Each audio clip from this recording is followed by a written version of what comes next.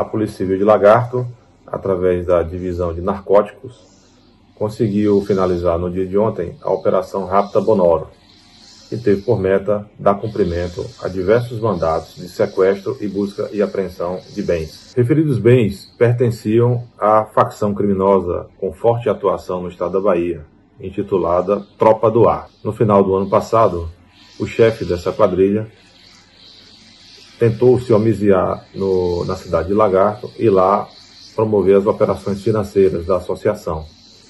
Mas logo foi descoberto e, numa operação bem sucedida, é, policiais civis e militares dos estados de Sergipe e da Bahia conseguiram localizar um indivíduo que veio a óbito após troca de tiros. No prosseguimento da investigação, a Polícia Civil conseguiu descobrir que o mesmo estava tentando lavar o dinheiro da associação criminosa na cidade de Lagarto.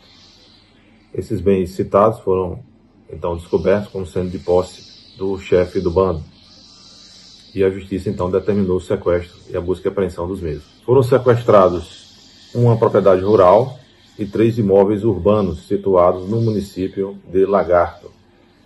E demos cumprimento também a dois mandados de busca e apreensão de dois veículos, sendo um deles de luxo, da marca BMW.